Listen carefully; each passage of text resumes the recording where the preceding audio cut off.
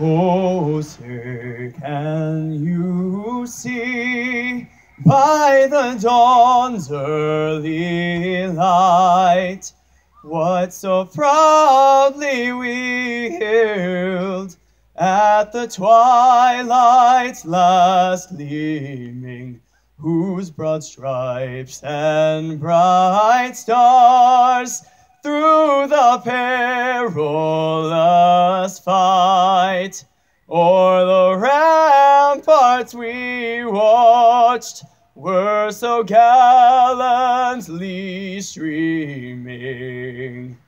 And the rocket's red glare, the bombs bursting in air, gave proof through the night that our flag was still there.